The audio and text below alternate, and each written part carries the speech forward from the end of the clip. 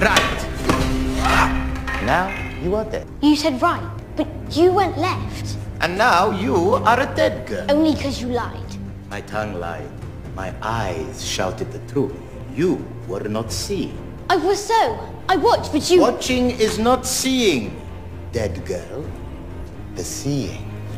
The true seeing. That is the heart of swordplay.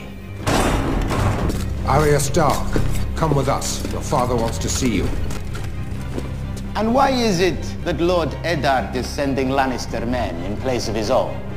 I am wondering. Mind your place, dancing master. This is no concern of yours. My father wouldn't send you. And I don't have to go with you if I don't want.